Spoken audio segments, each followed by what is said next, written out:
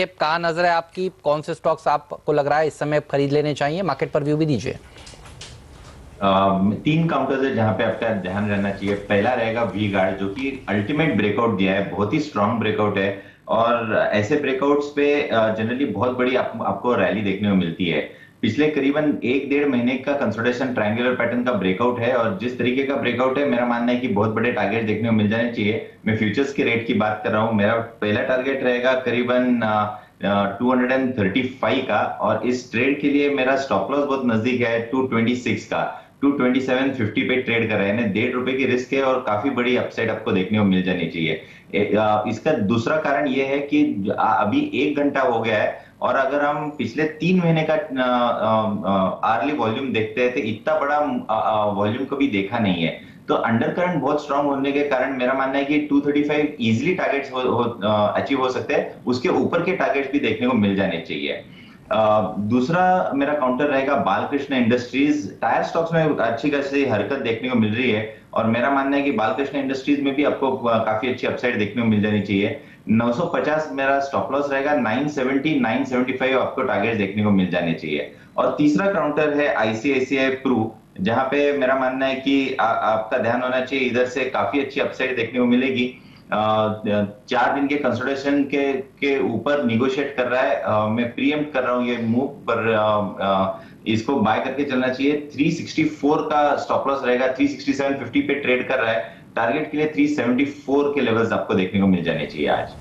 चलिए जादव साहब ने तीन स्टॉक्स सजेस्ट किए। तीनों बाइज हैं। वी गार्ड जिसमें volume breakout Balkrishna industries tyre maker और आईसीआईसीआई प्रो लगभग तीन सौ चौहत्तर रुपए का टारगेट आपके लिए प्रश्न जादव साहब, उज्जीवन अगर आप देख पाए तो काफ़ी ज़बरदस्त ओपन इंटरेस्ट का इसमें इजाफा हुआ है पिछले हफ़्ते और स्टॉक इस वक्त तीन सौ पचास रुपए के आसपास है। चार दिन की रैली के बाद कुछ राय इस पे आपकी।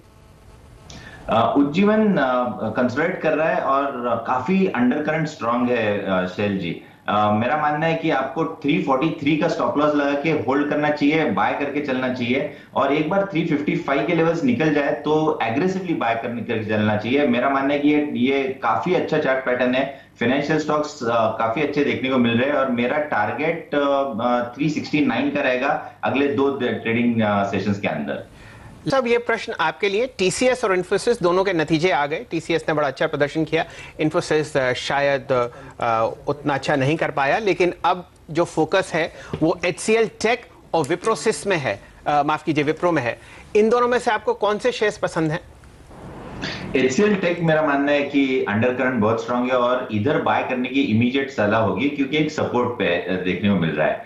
इसने ब्रेकआउट दिया था करीबन 1080 के करीब 28 मार्च को और उसके बाद जो अपमूव आई उसी लेवल्स पे टेस्ट हुआ और 1080 वॉयलेट नहीं हो रहा है क्लोजिंग बेसिस पे। तो मेरा मानना है कि 1070 के 10 रुपए की रिस्क लेनी चाहिए सपोर्ट के नीचे। आपका 1070 पे स्टॉप लॉस होना चाहिए और बाय करके चलना चाहिए। अभी 50 परसेंट बाय करे। 50 परसेंट रिमेनिंग 50 परसेंट ग्यारह के ऊपर बाय करने की सलाह होगी। उसके बाद एक नए दायरे में चलता नज़र आएगा। और ओपन ब्लू स्काई टेरिटरी में भी चला जाएगा। तो इधर से बहुत बड़ी मूव देखने को मिलेगी। अगर हम लॉन्ग टर्म चार्ट पैटर्न देखते हैं तो मल्टीपल टॉप्स का ब्रेकआउट भी देखने को मिल रहा है और उसका टारगेट बहुत बड़ा होता है। तो इधर से ट्वेंटी फाइव थर्टी परसेंट के रैली आप देख सकेंगे अगले छह, आठ महीने में। इतना अच्छा पैटर्न है। तो मेरा मानना है कि विप्रो और एचसीएल टेक के दोनों के कंपेयर करते हैं तो एचसीएल टेक मुझे ज़्यादा अच्छा देखने को मिल रहा है। इस पॉकेट में आपको सबसे बढ़िया स्टॉक कौन सा लगता है? अभी आज के लिए अगर ट्रेड करना है तो वेदांता मुझे लगता है कि अच्छा मूव देना चाहिए। एक अच्छे गैप से रनवे गैप से खुला है अंडर करंट स्ट्रॉन्ग देखने को मिल रहा है। तो uh, 185 का स्टॉप लॉस रहेगा दो रुपए करंट मार्केट प्राइस से नीचे और आपको 191 के टारगेट्स uh, कल तक देखने को मिल जाने चाहिए। किरण जी अब तक हमने सुबह से सबसे अग्रेसिव टारगेट 30,200 की बात करी है बैंक निफ्टी पर आपका क्या व्यू बन रहा है? जिस हिसाब से भाग रहा है आज का दिन बैंक निफ्टी के लिए कैसा रहने वाला है? बैंक निफ्टी में मोमेंटम स्ट्रांग ही देखने को मिल जाना चाहिए और जिस तरीके के पैटर्न है थर्टी थाउज़ेंड टू हंड्रेड ही इंपॉर्टेंट बैरियर है। उसके ऊपर फिर नए दायरे खुलते नज़र आ जाने चाहिए। पर अगर थर्टी थाउज़ेंड टू हंड्रेड के ऊपर हम कंसिस्टेंटली रहते हैं तो मेरा मानना है कि जो रिसेंट टॉप्स थे तीस तीस हज़ार साठ, छह सौ के, वो आपको टेस्ट होते नज़र आ जाने चाहिए। तो उधर से भी 400 पॉइंट की रैली आपको देखने को मिल जानी चाहिए। पर बहुत इंपॉर्टेंट है thirty thousand two hundred cross करना। जी। ये आपके टारगेट क्या है हेक्सावेयर के लिए? इधर मेरा मानना है कि 351, 353 ये पहले टारगेट्स रहेंगे। इधर एक बार रिव्यू ले लेना चाहिए और जिनके पास लॉन्ग क्वेश्चन है 341 का स्टॉप लॉस अभी रखे। तो आपका भी फेवरेट स्टॉक रहा है? आएगा चार डिजिट में? आ जाना चाहिए हेमंत जी पर इधर एक मेरा एक छोटा सा केवियट है कि 945 ये एक लक्ष्मण रेखा जैसा एक लेवल है, जहाँ पे आप हर निवेशक ने एक ध्यान रखना चाहिए। इसके नीचे की क्लोजिंग इस स्टॉक को बहुत खराब कर देगी।